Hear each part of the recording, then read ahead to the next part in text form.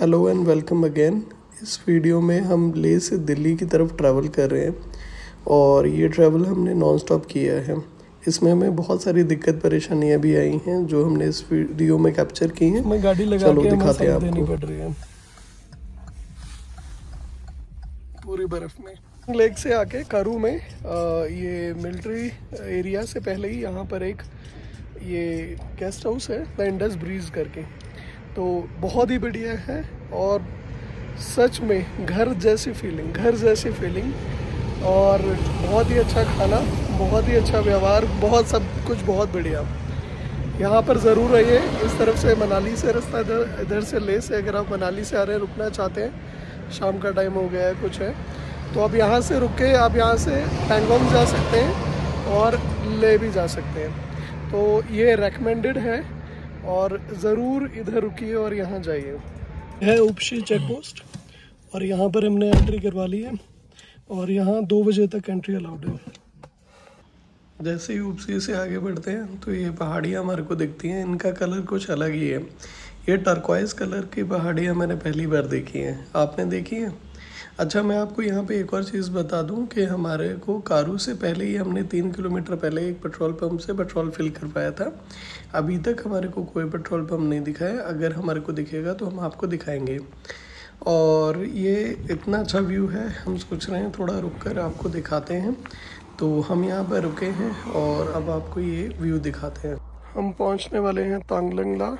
और ये देखिए, क्या मस्त व्यू है।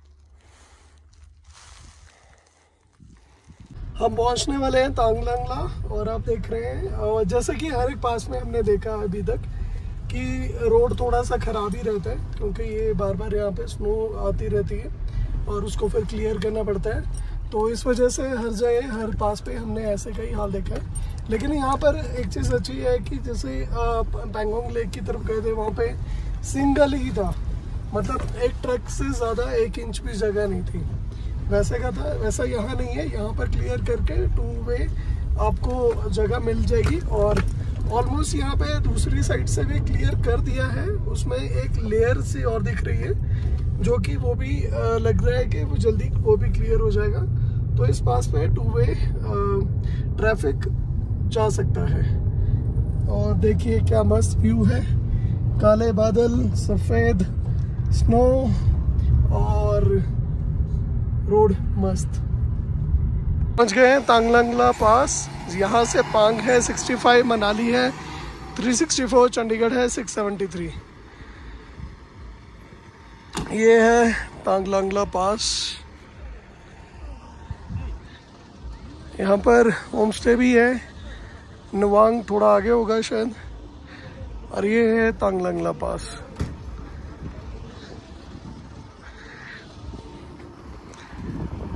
देखिए बहुत बढ़िया।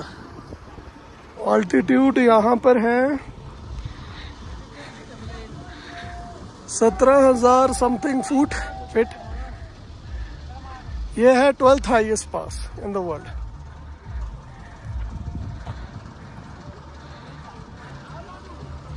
Kanglangla से नीचे उतरते ही हमारे को काफ़ी अच्छी रोड मिल गई है और मैं यही कोशिश कर रहा हूँ कि ये रोड जल्दी से कवर हो जाए। पांग क्रॉस हमारा काफ़ी रास्ता cover करके हो आ गए और यहाँ पे रास्ता कुछ ऐसा है पांग से ही शुरू हो जाता है ऐसा रास्ता।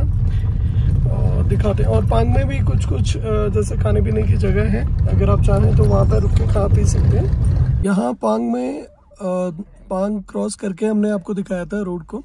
और इसके बाद यहाँ पे लैंडस्लाइड हुआ है। उसको क्लियर कर रहे हैं। इस वजह से जाम लग रहा है। जैसे क्लियर हो जाएगा, फिर उसके बाद गाड़ियों को यहाँ से भेज देंगे। रास्ता और बदतर होता जा रहा है और हमने किसी से पूछा तो उन्होंने बताया कि आगे रास्ता और भी ख़राब है। इनफैक्ट वहाँ रास्ता ही नहीं है। बिल्कुल ही ऑफ़ रोड है। वहाँ से होकर हमें जाना पड़ेगा।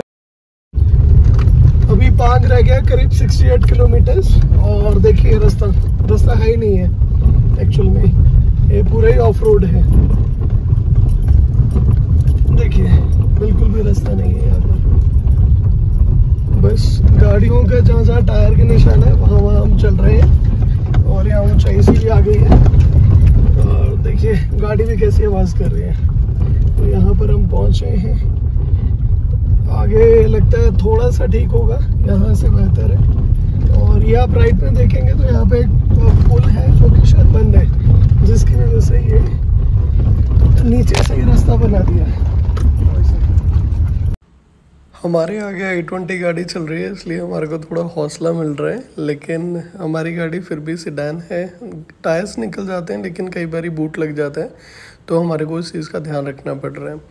बहुत ही ख़राब रास्ता है बहुत ज़्यादा। अभी तक मैंने कभी इतना ख़राब रास्ता नहीं देखा है लेकिन ये एडवेंचर है यही यहाँ पर आने में मज़ा है। सरचू करीब 62 63 किलोमीटर रह गए और अभी तक पांग से लेकर अभी तक अच्छा रास्ता नहीं मिला है हमारे को। और हम यहाँ से सेडान निकाल रहे हैं। आवाज़ आती है नहीं आती हम बताएँगे। हाँ।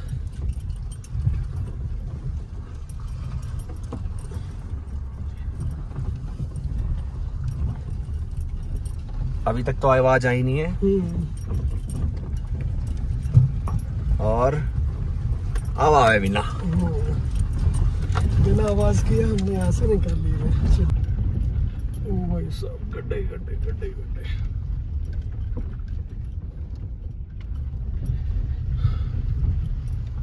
एक बार फिर से कोशिश कर रहे हैं। बिना आवाज़ निकाले, लगाए, लगवाए।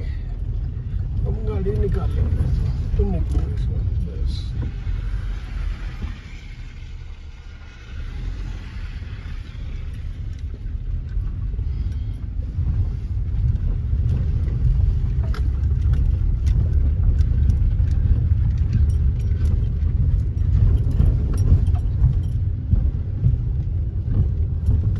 गए लुंगचंगला पर?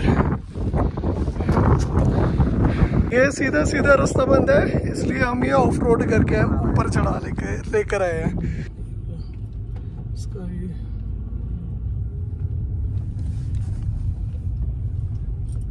लूप से नीचे उतरते ही रास्ता बहुत ही मज़ेदार हो जाता है एकदम मस्त स्मूथ सरचू में यहाँ पे बहुत लंबी लाइन लगी हुई है। इसलिए थोड़ी देर साइड में रोकने के लिए बोला है। ट्रैफ़िक पहले क्लियर हो जाए, उसके बाद शायद जाने देंगे। ये है वो सरचू का पुल, जिसकी वजह से जाम लगा हुआ है। यहाँ पर एक टाइम में एक ही व्हीकल निकल सकता है। हमने साइड करके रखा हुआ है, ताकि इजीली उनको पास मिल जाए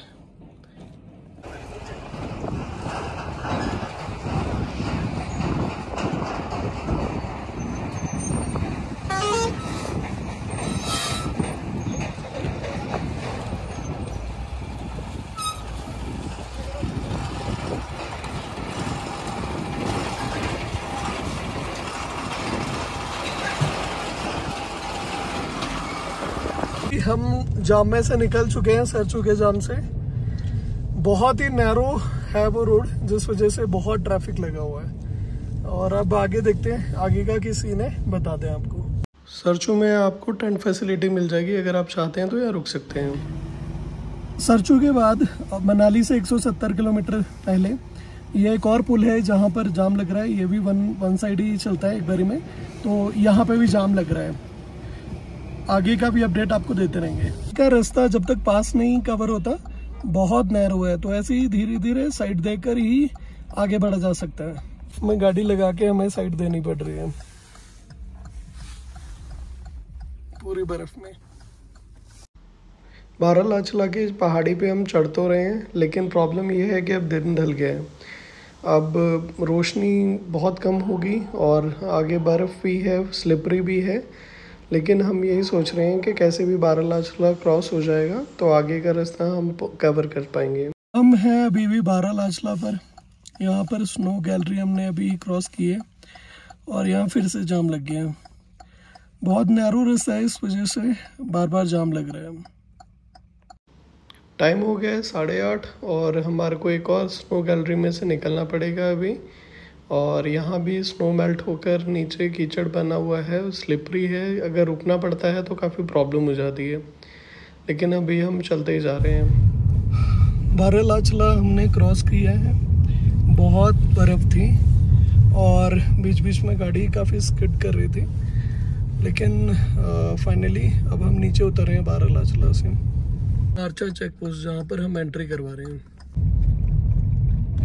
डारचा ब्रिज हम पहुँचे हैं जिसपा और हम रुके हैं जिसपा रसोई में।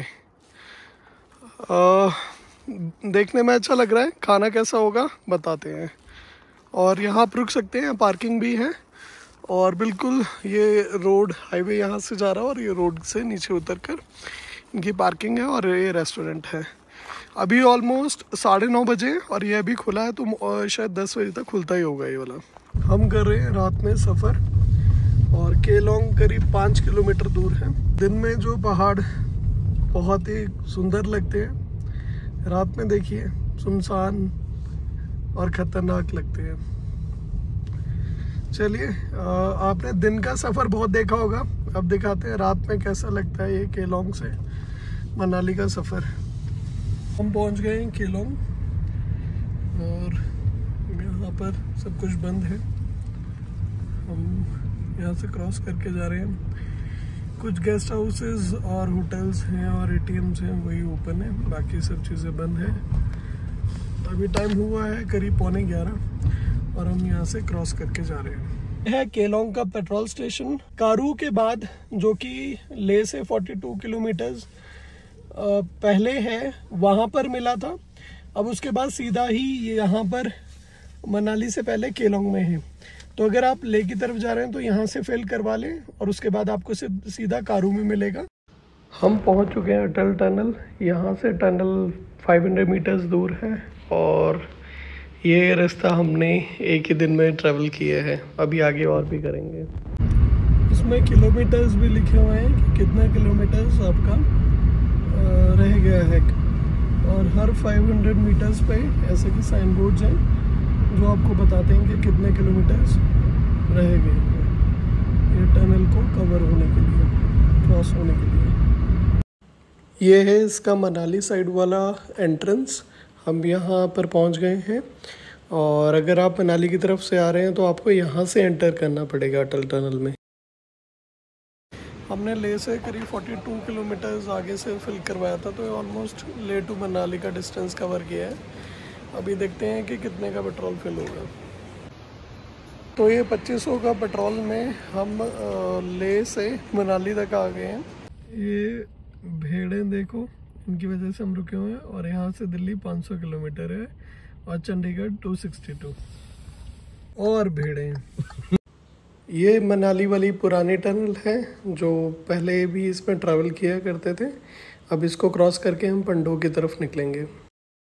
हम अभी दिल्ली की तरफ़ ही जा रहे हैं, लेकिन बीच में पंडोर लेक के पास में हमारे को डाइवर्ट कर दिया बोल रहे थे कि अभी रास्ता बंद है, आगे मंडी और नेर चौक वाला। तो अभी चाल चौक होकर हम सुंदरनगर की तरफ़ जा रहे हैं। ये इंटरनल रोड है हिमाचल की, जिसके ऊपर हम अभी जा रहे हैं। अभी एक घंटा शायद एक आधा पौना घंटा हमने इस पर ट्रैवल कर लिया, अभी इतना और करना है इस पर ट्रैवल ये सिंगल रोड है। और अभी रात के तीन बजे हम इस पर ट्रैवल कर रहे हैं। चाल चौक चाल चौक से सुंदरनगर होकर हम आगे नीचे उतरेंगे चंडीगढ़ की तरफ़। अनंतपुर साहिब में, और यहाँ पर ये पहला सी एन जी पंप है। यहाँ पर हम सी एन फिल करा रहे हैं। एटी सिक्स रुपीज़ की सी एन जी है। सीरकपुर पहुँच हमें लगा कि अब गाड़ी भी क्लीन करवा लेनी चाहिए।